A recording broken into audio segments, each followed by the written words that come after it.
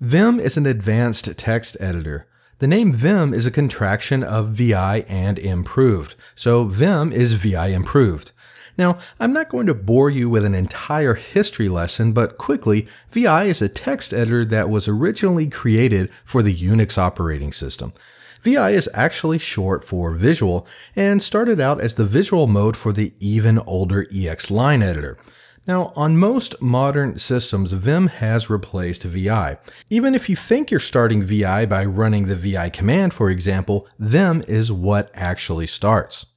So long story short, Vim is a powerful text editor. As you can probably guess, I'm a huge fan of Vim. I've used it almost every single day since the late 1990s. Now I would like to take the next few minutes and share with you why I absolutely love Vim and why it's worth your time to learn how to use Vim as well. For starters, Vim is installed practically everywhere. I can't remember ever logging into a system and not being able to use the Vim editor. Most Linux distributions install it by default. With other editors such as Nano or Emacs, they may or may not be available. If you're working on a system and your only editor choice is Vim, then you need to at least be able to use it to make simple edits. Also, many programs rely on an external editor. By default, that external editor is Vim in most cases. Typically, this can be overridden by setting an environment variable such as editor. However, if you execute one of these commands and find yourself looking at the Vim editor, you will be happy you at least know how to make some simple edits and how to exit out of Vim. Just a couple of commands that rely on external editors such as Vim include crontab, visudo, and git. Vim is amazingly powerful. If you're used to using Nano, then you're going to be blown away when you start learning just some of the most basic features available to you in Vim. There really is no comparison. Once you start learning Vim, you'll be more efficient and effective than you ever were with Nano. All the power Vim provides allows you to do things quickly. You can even make some complex edits fairly quickly and easily once you know how Vim works. Just some of the powerful features include macros, registers, command repetition, auto completion, text objects, searching, filters, and global substitution. When you learn how to navigate within Vim, you'll find that you can use those same navigation key bindings in other programs such as man and less. You can even configure your command line shell to use Vim style line editing features. For example, I use set space dash o space vi for my bash shell so I can use vim key bindings to browse my command history and even edit the current command line. Even outside a command line environment, you can put your Vim knowledge to use. For example, if you have Gmail keyboard shortcuts enabled, you'll find yourself using Vim commands right in Gmail. Even other editors support Vim modes. Sometimes the mode is built in, and other times you'll need to install a plugin first. Here are just a few editors where you can put your Vim knowledge to use. They include Atom, Eclipse, AbiWord, Kate, Sublime Text, Notepad++, Xcode, and many more. Keeping with a knowledge transfer theme, Vim is available on a number of different operating systems. Vim is available on Linux, Unix, Mac, OpenVMS, and Windows. Let's say you want to learn Vim because you use Linux at work all day, but when you get home, you love to use your Mac. Well, that's no problem. Simply install Vim on your Mac system and you can use the exact same text editor at work and at home. And honestly, once you learn how to really use Vim, you'll want to use it everywhere. Not only can you run Vim from the command line and use its textual user interface, you can run Vim in a graphical user interface mode suitable for graphical environments. The graphical user interface mode of Vim has all the same features you know and love in Vim, in addition to features that you would expect from a graphical application. Those additional features include things like scroll bars, menus, a list of recently opened files, the ability to use a mouse, and integration with the system clipboard.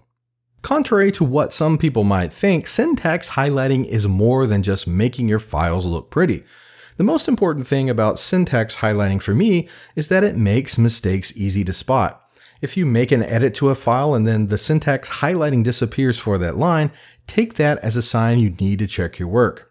By the way, Vim includes syntax highlighting for more than just programming languages. If you're a Linux system administrator, then syntax highlighting for the C programming language might not be as useful to you as syntax highlighting for configuration files. By default, Vim includes syntax highlighting for Apache configuration files, deny host files, git config files, grub config files, ldap.conf, login defs, named and bind configuration files, PAM files, Squid configuration files, SSH configuration files, and sudoers, just to name a few. If there isn't syntax highlighting available by default for a certain file type you find yourself working with often, you can many times find plugins that provide such highlighting. For example, if you use Ansible for configuration management, you can install an Ansible configuration file syntax highlighting plugin. Even if you're not making changes to script, source code, or configuration files, having syntax highlighting improves readability and can make files easier to scan. Many Vim commands can easily be recalled using simple mnemonics. In my opinion, Vim commands like I for insert, D for delete, and Q for quit are a lot easier to remember than commands like F6 or Control Alt Shift F that other editors use. Vim is like a language. Once you start to think in Vim, you'll be able to easily start stringing together commands just like you would string together words in a sentence. Before you can speak, you don't have to memorize every possible sentence. No, you just use sentence structures and plug in the appropriate words. Like a language, Vim has the concept of verbs, nouns, or objects, and adjectives. For example, to delete a word, you type the command DW, which is an action and an object. If you want to perform a different action on that object, then use a different action command. For example, to change the text of a word, you would use CW. To delete everything contained within a pair of quotes, you can use the command DI quotation mark. This means delete inside the quotes. You have an action, which is delete, an adjective inside, and an object, quotation marks. If you want to delete three words, for example, you use the command D3W, which literally means to delete three words. It's very language-like. There's no need to get hung up on any of these commands at this point. The idea here is just to demonstrate how easy it can be to think in Vim and how it's actually more efficient than manually learning dozens and dozens of commands for every little situation that you might encounter. Trust me that I get it. Reading dry technical documentation is boring. However, once you have a little exposure to Vim, Vim's built-in help system comes in really handy. You can use it to quickly look up commands, syntax, and more, all without leaving the editor. You can even edit your file while referring to the documentation all on the same screen. The documentation that comes with Vim is very well written and easy to use. I love using Vim, and once you get the hang of it, you're going to love it too. With Vim, there is usually more than one way to accomplish the same task, so it can be fun to use your creativity when making edits.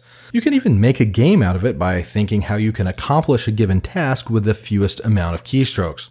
Even if you're not intentionally trying to make Vim fun, it can really be a joy to use. One of the main reasons I love Vim is because it's so powerful and efficient.